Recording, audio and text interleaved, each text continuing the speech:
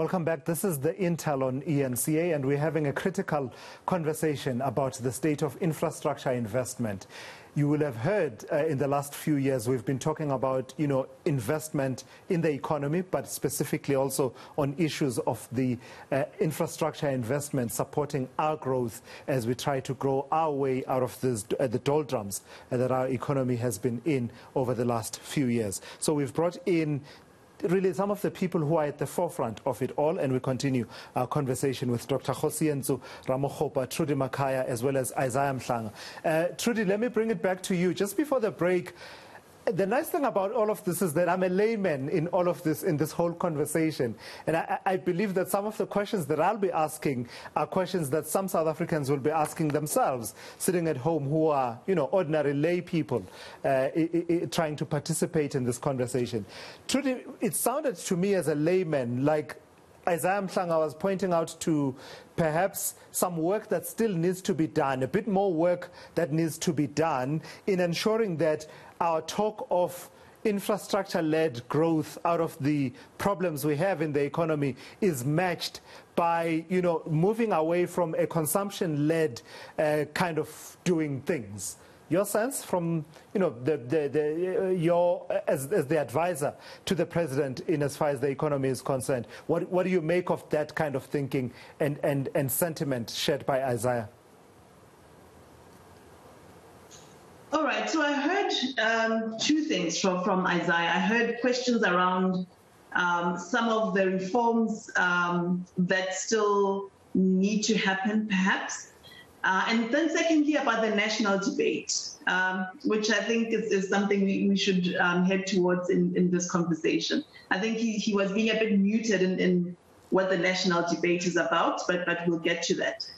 I think one of the things he said was around SOCs and, and, and state-owned uh, enterprises. Um, and this idea that they are still um, disinvesting. I mean, I think you'll see that for some of them, um, or, or, rather there's a cycle um, that SOEs are going through. Um, first, uh, for, for many of the key ones, given all that they've been through over the past few years, it begins with arresting the rot. Um, and I think, you know, there have been studies, reviews, uh, reports, you know, from SARS to Eskom, uh, where you're seeing that a lot of the work in terms of understanding what went wrong, holding people to accountable um, is underway. Then you see the rebuilding um, of the institution and um, the restructuring um, of, of, those um, um SOCs, and you see it with new leadership, new strategies, be it Eskom, uh, Transnet, um, and, and, various others. And then, of course, becomes the question um, of drawing in private sector resources um, towards supporting those institutions. You see it, for instance, with the process underway at SAA. And I think the principle to understand here is that there's got to be appropriate roles um, as we do this, even as we uh, work towards uh, increasing private sector participation in areas like rail. Um, there's got to be uh, a sense uh, between uh, what is feasible and what is appropriate in terms of um, the public sector always being in the driving seat and directing um, those SOCs. So I think a lot of the entities are going through that cycle of, you know, uh, consolidating and then looking forward and drawing in uh, investment. I think the state continues to invest uh, in, in those um, SOCs in terms of, for instance, supporting those um, who are in extreme distress, but we want to go to a point where they're able to sustain their own operations. So I think the SOC agenda is on track. Um, there's regular interactions with the SOC Advisory Council um, just to sharpen those strategies and ensure that we have common principles across the board and that we work to ensure that what happened with SOEs over the past years uh, does, never happens again. Now, on the question of the national debate being consumption driven, um, you know, if we step back and think about what the pandemic has done uh, in terms of devastating people's livelihoods and how government responded appropriately by supporting those livelihoods. For instance, for the first time in our country, having a social grant that is directed towards unemployed adults. Um, the, the, the, social, the, the COVID-19 special grant um, that was set at 350 Rand and renewed um, uh, uh, various times.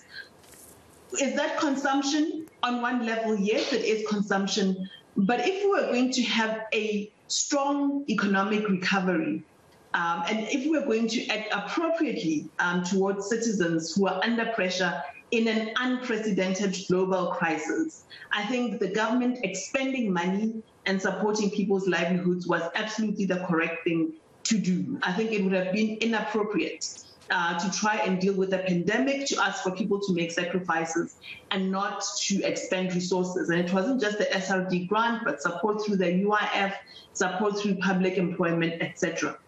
Um, so it, it might look like consumption, but I think it's an investment in our society, and it was also um, a way to set a foundation for a strong uh, economic recovery, which you know has been you know we're starting to see some of those green shoots uh, of an economic recovery.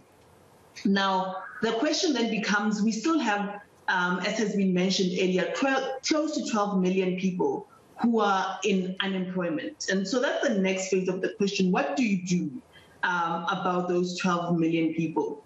And once again, I think there's an appreciation that economic growth is what is going to deliver jobs um, at that scale. You know, the ratio of public to private sector employment always means that it has to be the private sector investing and growing that will absorb the majority of those unemployed people. But we also know in terms of recent economic history that you know, for the private sector to create jobs, it won't be at that scale immediately. The public sector, government has to do something as it did uh, under the pandemic, to create opportunities uh, for employment. And so the question has been, and the debate, I guess, has been is it about extending grants indefinitely? Uh, is it about having a universal basic income grant? And there are no, you know, um, the, the debate is still open.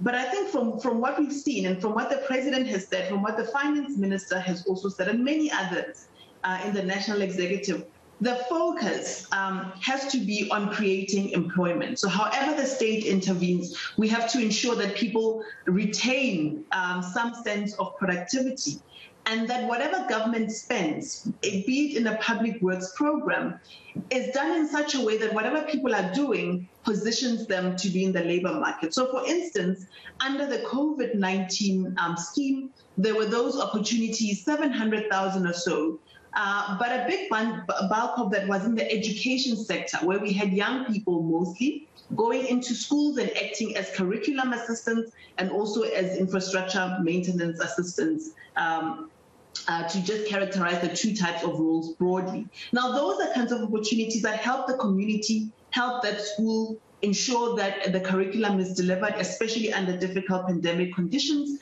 ensure that infrastructure is maintained, and also gives that person skills, real skills in terms of being able to um, hold the attention of a class, um, uh, conduct administration, conduct maintenance. And I think going forward, the stress of dealing, the, the focus, the emphasis of dealing with those 12 million people will be around creating those kinds of um, opportunities. Now, in the way we account, you know, that might look like um, it's consumption led, but when you think about the skills um, that are being imparted, when you think about the fact that you're helping adults remain productive, I think there's there's uh, a lot to be said that this has to be done, that it won't be cheap, uh, but at the same time, the focus can't be um, just on more and more and more unconditional, open-ended um, grants. There's got to be a focus on how do you spend money to support the unemployed in a way that actually makes them employ- employable. So I think that's where Isaiah was in terms of um, the national debate about how to move forward. Uh, but none of that undermines the important infrastructure drive that's underway, the important structural reform that's underway, and the understanding that jobs are going to have to come from economic growth. But we know that even when we're growing, we often don't create the right scale of jobs to deal with the crisis that we're dealing with, a crisis which has been worsened uh, by a pandemic. So I would see that expenditure as being supportive um, to growth in the long term and not uh, being uh, consumption. Of course, I say this emphasizing that we think that whatever emerges from this national debate is going to be focused more on supporting productivity and supporting work uh, as opposed to being um, uh, more around just more social um, grants. And, and I suppose there's still a lot of questions, Thulas, around the sort of you know, financial backing for such a grant. There's a debate there, and at what point do you introduce it? But I want to I want to extend this to what uh, Trudi said about the focus being jobs now, and bring in Dr. Ramokgopa once more again. Doc, when we spoke last week at the symposium, I mean, one of the things that came up there was the fact that, I mean, you've told me that securing the funding, securing the money for this, is one thing, and that doesn't seem to be too much of a task when you compare it to the actual ability to get some of these infrastructure projects on the ground working. And I'm talking about municipalities, the competency levels there. I'm talking about local government because what you essentially do is secure the money, secure the project, and then hand it over to these governments. Now, what happens from that point is critical because that speaks to the, the, the speed and the efficacy at which uh, these projects happen. What's been your experience there? And, and seemingly, is it slow at that point on the local government municipality level?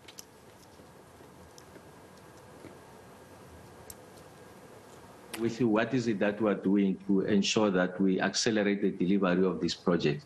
So as you might know that uh, Trudy and uh, some of my colleagues in the presidency and uh, national treasury, she's championing uh, what we call Operation Vulindlela, essentially is to introduce the necessary reforms, at least in the infrastructure space, to help to advance these uh, projects to towards implementation. One of those has to do with what, what we call the records of uh, decisions before you can build a school, you can set up a industry. There's a legislative requirement that you have to obtain what we call uh, an environmental uh, impact uh, assessment, and that gets to be obtained from the provincial government. And the experience experiences across the country, with the exception of Gauteng, is that it takes on average about 15 months for people to obtain those uh, records of. Now we know that um, the experience of Gauteng is different because they've uh, introduced um, additional capacity and expertise to ensure that the, the approvals uh, of um, of records of decision takes uh, not more than 30 days. So that's how you are going to accelerate it. And we're looking to use the Gauteng template uh, to, to be exported to other provinces. And then the second one has to do with uh, what we call water use licenses. So depending on the, the kind of infrastructure and the uses uh, that uh, you, you, you, want to um, uh, exercise as part of your investment, there is a legislative requirement that you need to obtain a water use license. And this this is uh, obtained from the National Department of Water and Sanitation. Again, it can take you up to uh, 18 months for you to obtain that. So what we are doing now is to truncate that process without undermining the rigor and transparency that is required to obtain a water use license. And we are bringing it down to uh, to under 60 days. So these are some of the kind of uh, institutional reforms or arrangements that are required to make uh, the state if you like, a bit more efficient so that we're able to facilitate the uh, private sector participation. And then there's a third leg that has to do with the uh, zoning. So before industry can put up a factory, um, the, the, the, rights must be in place. And for those rights to be in place, the municipality sits with the responsibility of zoning that space. And you find that, as uh, you have mentioned correctly there, that we have uh, attracted this money. There's an intention of private sector, definitive that we want to invest in this space. But, but you find that the zoning is not in place, although um, that um, uh, the rights are uh, in keeping or the application is in keeping with the, the spatial development plans of those municipalities. So what is it that we are doing? We are working with many of these uh, municipalities to ensure that there's additional capacity that we help them from a planning uh, point of view to accelerate the zoning um, um, uh, applications. Of course, there still needs the, the, the, requirement for public participation, but we have seen that in uh, the more poorer, rural and far-flung municipalities, there is no such capacity that allows them to take opportunity of uh, the investment appetite into their spaces. So we're working with those municipalities to ensure that we're able to accelerate that. We have been able to attract the, the attention of the private sector. They've made resources available to us. So we're working with some of the most experienced uh, um, um, uh, um, uh, practitioners in that space, and some of them are embedded in these municipalities so that we're able to access, uh, accelerate that delivery. And then the second point I want to to make um, outside just the reforms is the extent to which we are able to expand the network industries in the your more poorer um, and less, or if you like, less affluent rural uh, provinces. So we have done a longitudinal study of um, the type of investment, or if you like, the geographic distribution of investment across the, the, the sovereign map of the country. And we found that there's concentration of investments in your more metro areas, in your provinces of Gauteng, KwaZulu-Natal, KwaZulu-Natal in particular, eThekwini, the Western Cape in particular, Cape Town. And you find that the, the six other provinces are excluded from the, the kind of investment that have taken place over the 27 years. So we needed to ask the question, why is it that the, the distribution of uh, investment is not equitably um, distributed uh, across the, the geography of the country? And we have found that um, the transversal um, uh, issue there is that there's an absence of uh,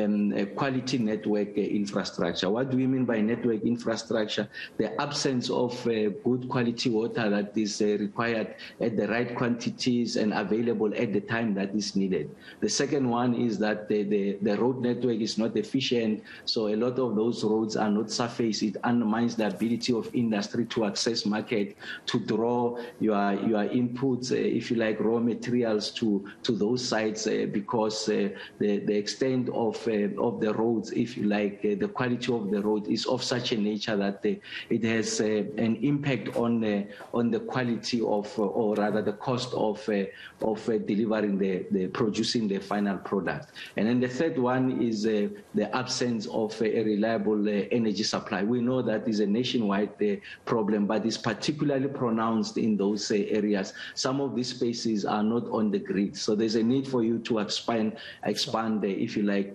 energy access, draw it into those spaces. And the fourth one, of course, uh, COVID has illustrated uh, the need for us to ensure that the provision of uh, affordable, reliable, and fast internet access should be a, a, a basic municipal municipal service. And if you right. go to these areas, you find that there's an absence of those. So now, out of this symposium and working with um, National Treasury, we are beginning to solution how we can be able to finance that infrastructure in those spaces. Because once those uh, network infrastructure is in place, the likelihood of attracting private sector into those spaces increases and increases exponentially. Right. And we are going to ensure that, uh, um, of course, with the additional incentives, you should be able to bring opportunities uh, to those people in those far-flung areas. Dr. Ramokgopa, let, uh, let's pause it there for a moment. We come back with concluding thoughts here uh, on the panel discussion. This is the Intel on eNCA.